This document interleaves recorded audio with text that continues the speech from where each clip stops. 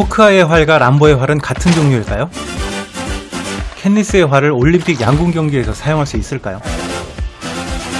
딱 재미로 알아둘 정도로만 영화 속에 등장하는 활들의 종류와 특성을 알아봅니다.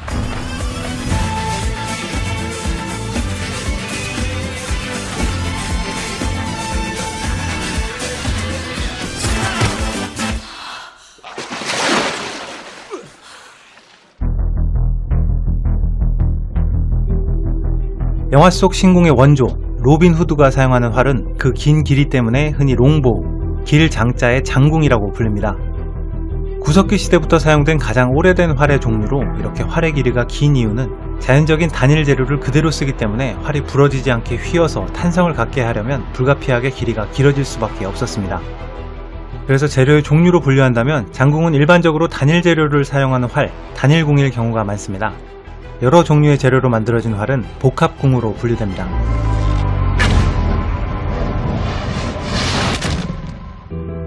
롱보우의 장점은 일단 만들기 쉽다는 점입니다.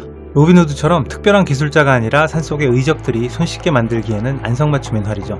대신 길이가 길어서 이동하는데 불편하기도 하고 그 큰 길이에 비해서는 탄성이 좋지 않은 편이라서 유효 사거리가 짧고 화살의 속도가 그리 빠르지 않다는 단점이 있습니다.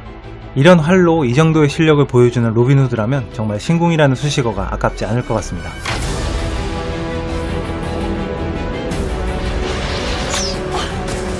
역사적으로 가장 오래 사용된 활이기 때문에 고대 중세 시대를 배경으로 하는 대부분의 영화에서는 롱보우가 사용됩니다. 가상의 세계이긴 하지만 반지의 제왕에서 레골라스나 아바타의 네이티리가 사용한 활도 롱보우라고 할 수 있습니다. 정말 네이티리가 사용하는 활은 그 길이로 봤을 때는 정말 최고의 longbow가 아닐까 싶습니다.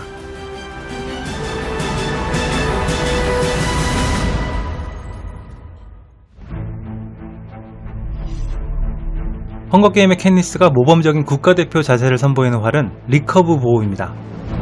아마 활 모양이라고 하면 가장 먼저 떠오르는 삼자 모양의 굴곡이 있는 활이라고 생각하시면 쉬울 것 같은데요. 원래 휘어진 커브 방향의 반대로 활 몸체를 꺾어서 시위를 걸기 때문에 거꾸로 휜다는 의미의 recurve라는 단어를 사용하게 되었습니다. 일반적으로 여러 재료를 복합적으로 사용해서 인위적인 커브를 만들기 때문에 단일 소재를 사용하는 longbow보다 훨씬 발전된 활이라고 할 수 있습니다. longbow에 비해서 긴 사정거리와 빠른 속도를 보이지만 활의 길이는 더 짧아지는 장점을 가지고 있습니다. 하지만 만들기 어렵다는 것이 단점이라고 할 수 있을 것 같네요. Thank you for your consideration. 헝거게임의 캣니스는 고향에서 사냥을 할 때는 일반적인 longbow를 쓰지만 좀 더 강력한 활이 필요한 헝거게임에서는 recurve bow를 사용합니다. 화려한 특수 기능을 자랑하는 호크아이의 활도 기본적으로는 recurve bow라고 할 수 있습니다. 양궁에는 여러 종류가 있지만 올림픽에서 정식으로 채택된 종목은 recurve bow를 사용하기 때문에 캣니스와 호크아이의 활도 충분히 올림픽에서 사용될 수 있을 것 같습니다. 특이한 점은 반지의 제왕에서 원래 longbow를 쓰던 레골라스가 이후 호빗 시리즈에서는 더 짧고 발달된 형태의 recurve bow를 사용한다는 점입니다. 이야기의 흐름상으로는 호빗이 먼저기 때문에 recurve bow를 사용하던 레골라스가 이후에 longbow를 사용한다는 건 어쩌면 시대에 역행하는 설정이 아닐까 하는 생각이 듭니다.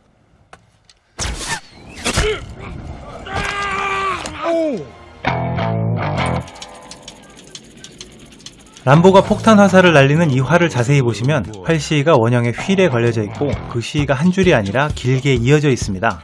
이렇게 돌아가는 캠 휠에 시위를 걸어서 도르래의 원리로 힘을 축적하는 방식의 활을 compound bow라고 부릅니다. 전통적인 활의 한계를 극복하기 위해서 개발된 현대적인 활로 동일한 장력으로 당겼을 때 활속이 전통적인 활보다 40% 가까이 빨라지게 되었습니다.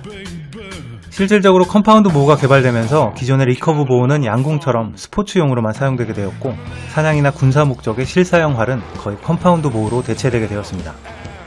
람보가 사용하는 활은 호이트사에서 만든 컴파운드 보호로 당시에 큰 인기를 끌게 되면서 람보 edition이라는 이름으로 특별 제품이 판매되기도 했었습니다. 람보를 패러디했던 못 말리는 람보의 찰리신이 사용하는 활도 같은 모델의 compound bow입니다. 이 밖에도 블레이드 3편에서 등장하는 여전사 에비게일이 사용하는 활도 compound bow입니다. 그렇다면 장비빨의 끝판왕 호크아이는 왜 compound bow가 아닌 recurve bow를 사용할까요? 기본적으로 compound bow의 핵심은 제한된 신체적인 힘을 도르의 원리로 강화해서 힘들이지 않고 당겨도 더 빨리, 더 멀리 활을 쏠 수 있다는 점입니다. 일반인의 3, 4배에 달하는 장력을 보유하고 있는 호크아이는 활이 견뎌주기만 한다면 기준 장력 이상으로 활 시위를 당겨서 더 강한 화살을 날릴 수가 있습니다. 하지만 compound bow는 최대 장력이 고정되어 있기 때문에 호크아이 특유의 강한 장력을 활용하는 것이 불가능하다고 할 수 있습니다. 더불어서 compound bow의 단점으로 지적되는 부분이 빠른 연사가 어렵다는 부분이기 때문에 호크아이의 탁월한 능력을 펼치기에는 recurve bow가 더 잘 맞지 않을까 싶습니다.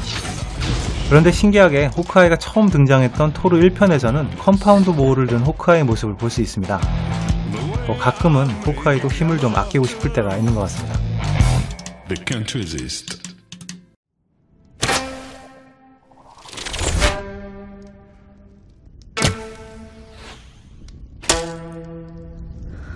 마지막은 자랑스런 우리의 전통활, 각궁으로 마무리하겠습니다. 여러 재료를 복합해서 만든 recurve bow지만 주된 재료가 물소의 뿔이었기 때문에 뿔 각자를 써서 각궁이라고 부릅니다. 활을 만드는 기술력의 척도는 얼마나 강력하고 정확한 활을 얼마나 짧게 만들 수 있느냐에 달려 있습니다. 우리나라의 각궁은 이렇게 짧고 높은 탄성을 만드는 데에서는 세계 어느 나라보다 뛰어난 최고의 기술력을 가지고 있습니다. 최종 병기 활에서 볼 수 있듯이 각궁은 길이가 짧지만 굴곡이 크고 탄성이 강해서 빠르고 멀리 쏘는 것이 가능했습니다. 특히 애기살이라고 불리는 편전은 조선시대 최고의 무기로 평가받는 핵심 무기였습니다. 일반적인 화살보다 길이가 매우 짧아서 활시위를 충분히 당길 수 없기 때문에 대나무를 반으로 쪼갠 통화에 넣어서 마치 총알처럼 쏘는 화살입니다. 기록된 바에 따르면 사거리가 1km에 달할 정도로 멀리 날아갈 뿐만 아니라 보통의 화살보다 공기 저항을 적게 받기 때문에 그 속도가 일반 화살보다 훨씬 빨랐습니다. 더불어 빠르고 작은 화살은 눈에 잘 띄지 않아서 적이 어디서 활을 쏘는지 분간하기 쉽지 않았고 갑옷을 뚫을 정도로 강력했기 때문에 소리 없이 적을 사살하는 적용 무기로서의 역할도 톡톡히 했습니다. 강력한 각궁의 위력과 애기살까지 더해진 우리의 활은 중국 활보다 훨씬 앞선 기술이었고 특히 장궁을 위주로 하는 일본과는 비할 바가 아니었습니다. 영화의 장면은 아니지만 지금 보시는 이 장면은 일본의 전통 활쏘기 규도의 월드컵 대회입니다. 일단 그 길이가 성인 키를 넘을 정도로 어마어마하게 깁니다.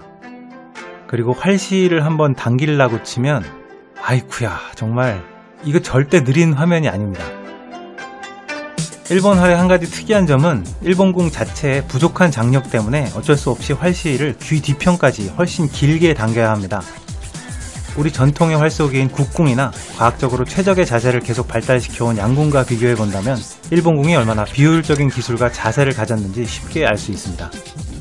우리나라 양궁 선수들이 세계 최고를 굳건히 지키고 있는 건 각궁이라는 뛰어난 과학적인 활뿐만 아니라 국궁이라는 훌륭한 활쏘기에 오랜 역사와 전통이 있기 때문이 아닐까 하는 생각을 해봅니다.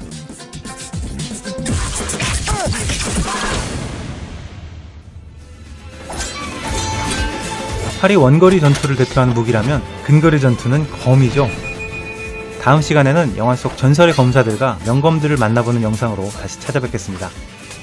지금까지 빨강도깨비였습니다.